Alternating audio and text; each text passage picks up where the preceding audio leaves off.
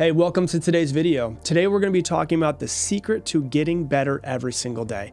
If you're watching this video, you've probably realized life is a journey and it's a long journey.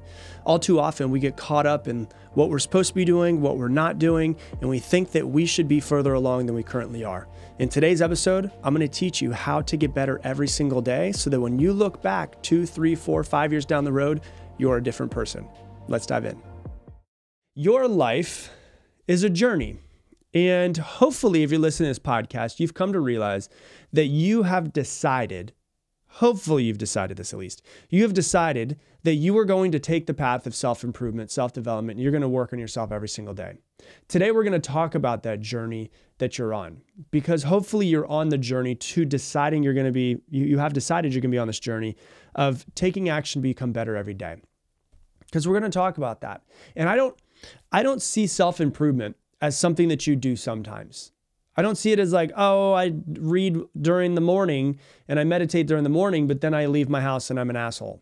No, it's like I'm trying to constantly improve and use life as feedback, as a mirror all the time for where I need to improve, where I'm doing well, what I can get better at, all of that. I see it as a lifestyle, something that I literally do all of the time. The same way that if you're to go and try to lose weight, you're going to have to you could you could go on a diet if you want to for 90 days but then if you go back to your old lifestyle you're going to gain all the weight back.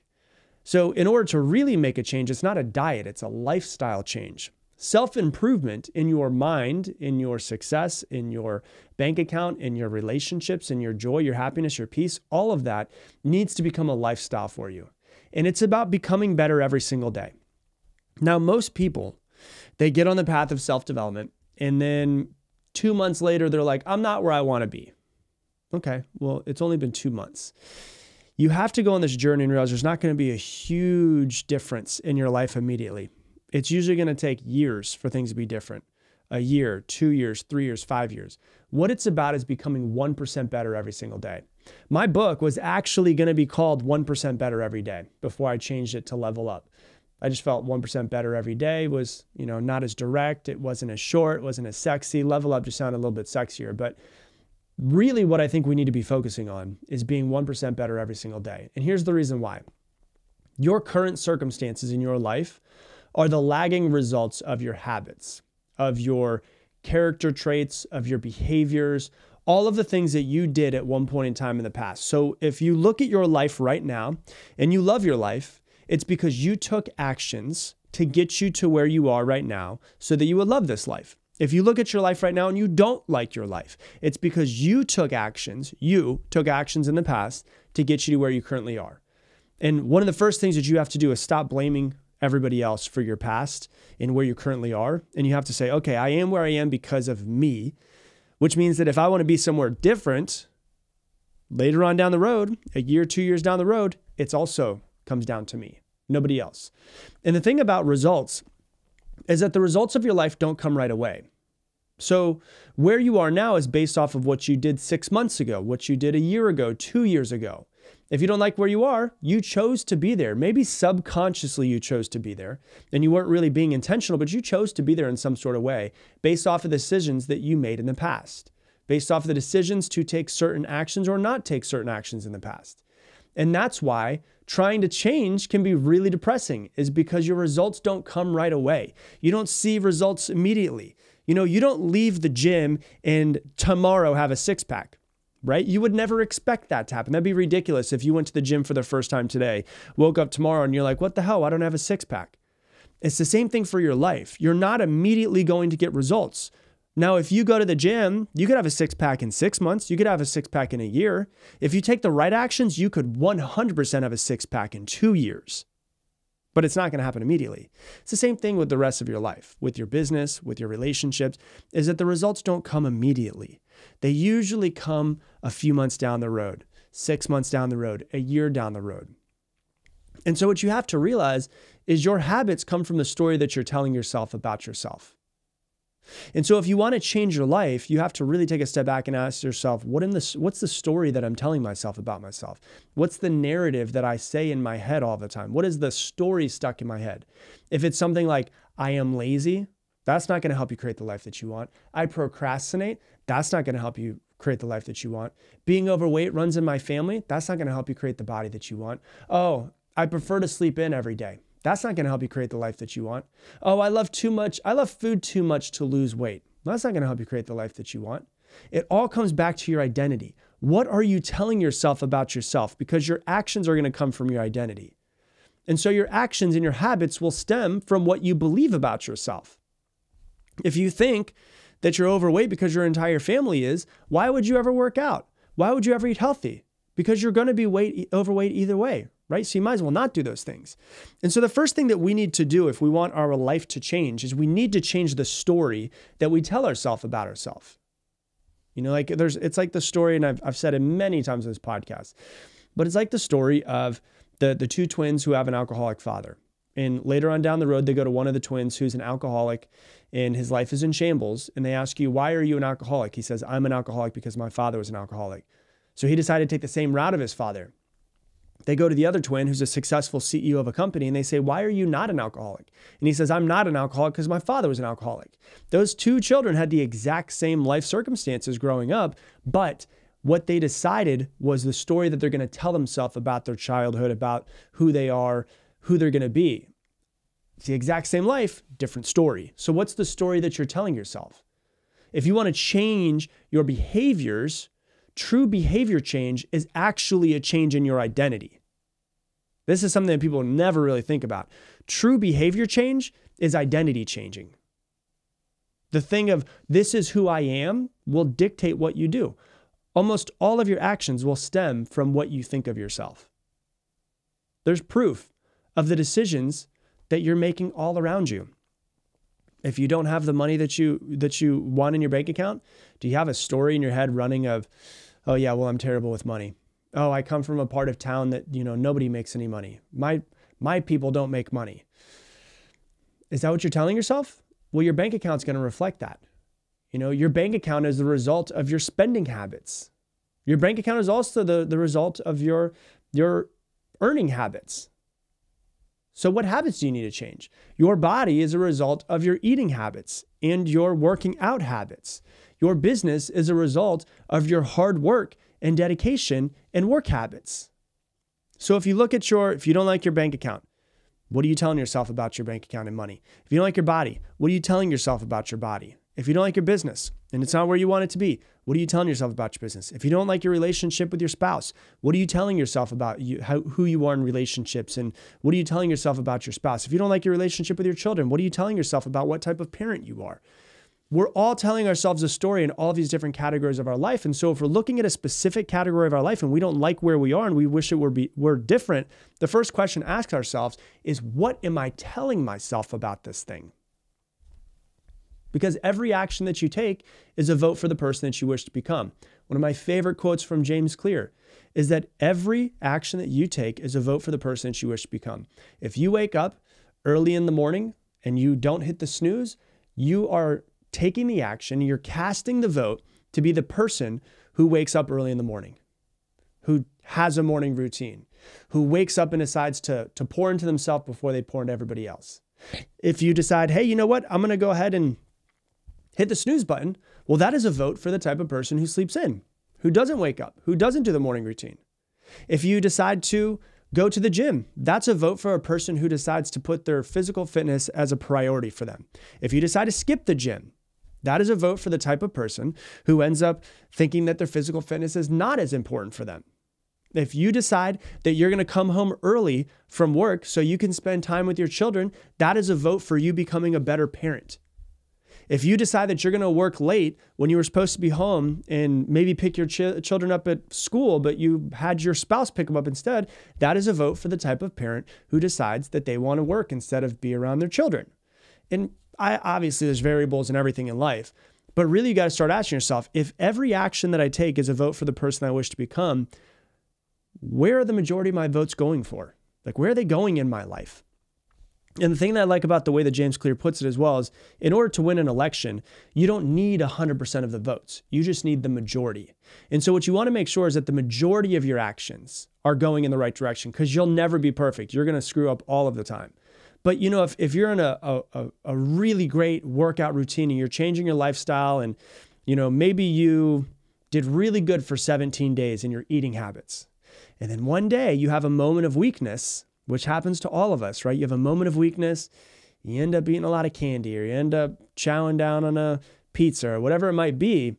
What most people do is then they guilt themselves, they shame themselves, they say, I'm not good enough, I knew I was gonna fuck this up. And they get really down on themselves for that one moment of weakness versus the 17 days that you did really good. So you casted a vote for the person that you want to become 17 times to be the type of person who cares about their physical fitness, who wants to live longer, who wants to be more mobile, who wants to be around for their children, their grandchildren, whatever it might be. And you casted one vote for the person who, you know, loves ice cream or the person who, who loves pizza, right? You're, you're getting way more votes in the right direction, which is the important thing.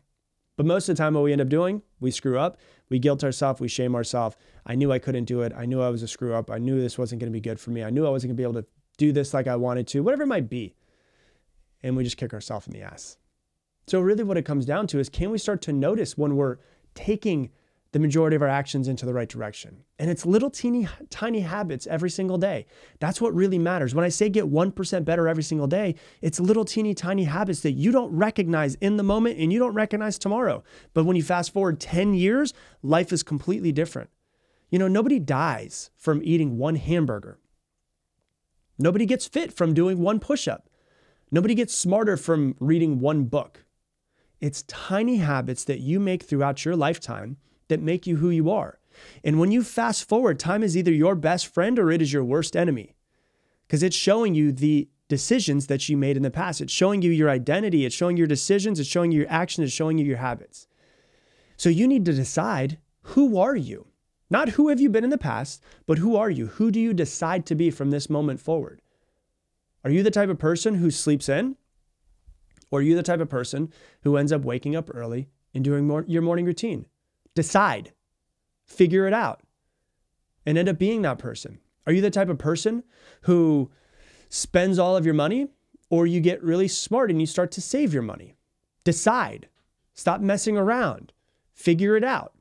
Are you the type of person that puts your physical fitness as a priority in your life? Are you the type of person who decides that physical fitness isn't a priority for you?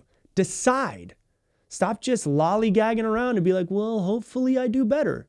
Because when we look at other people, when we look at somebody on Instagram who has the body that we want, we only see the end result, their success. We don't see all of the damn work that they put in over the past two, three, five, seven, 15 years. And we're looking, going, well, I want their body. Oh, yeah, well, then put in the damn work and get their body. And then we look at other people and we're like, well, look at them. They're flying first class, or they have a nice car, they have a nice house, or they have a multi million dollar business. I want that. Well, are you willing to put in the work?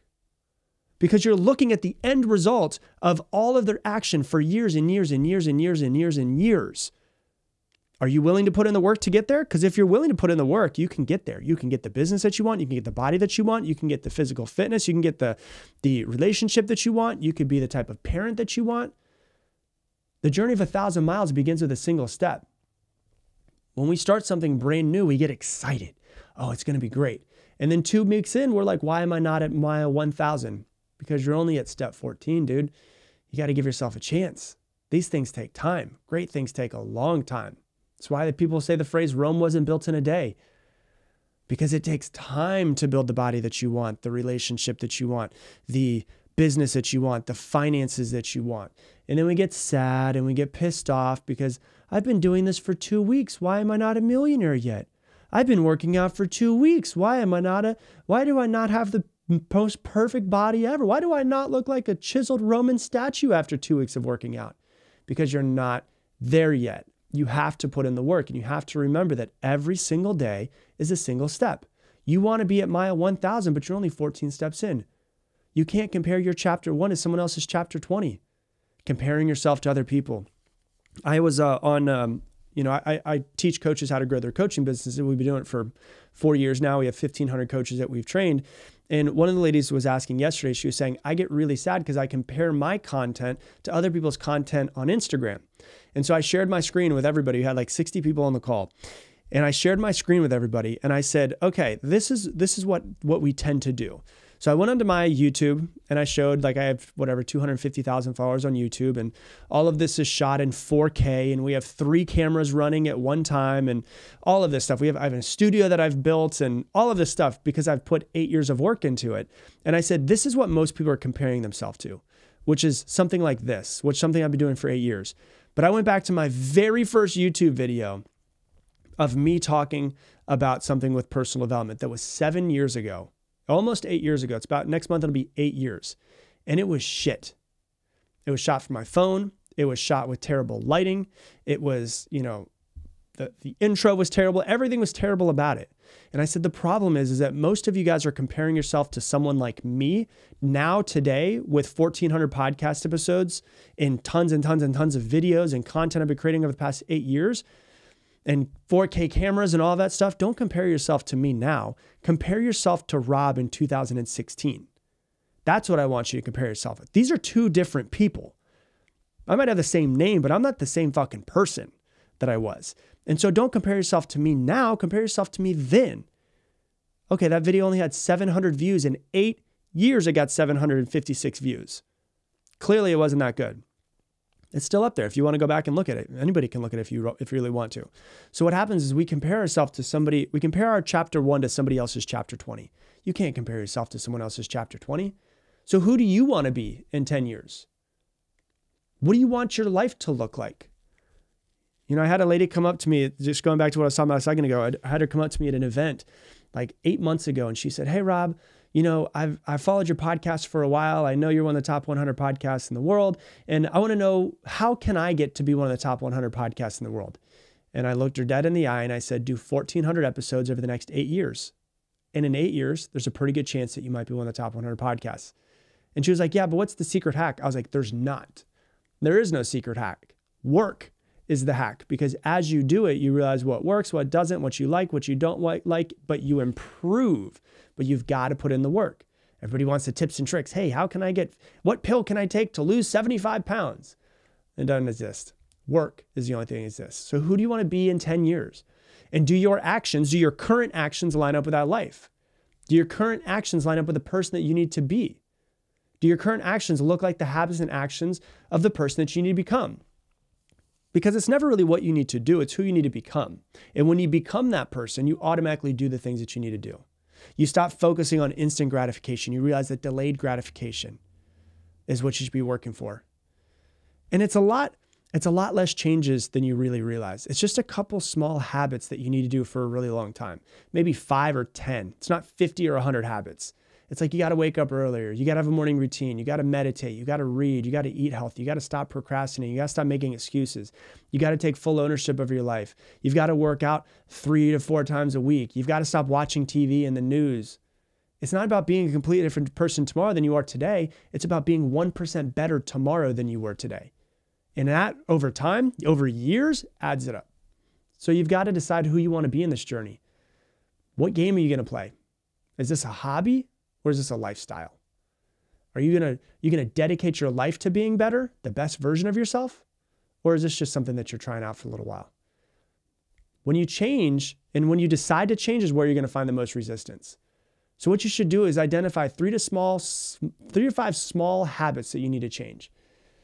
And then to identify them and start putting them into your day and start becoming that person. And you're not to be better tomorrow but you'll be a little teeny tiny bit better. You're not going to be a completely different person, but you'll be a little bit better.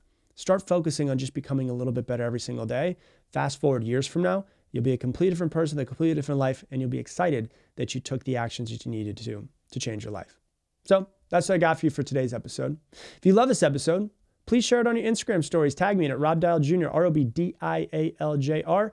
And with that, I'm going to leave you the same way I leave you every single episode. Make it your mission to make somebody else's day better. I appreciate you, and I hope that you have an amazing day.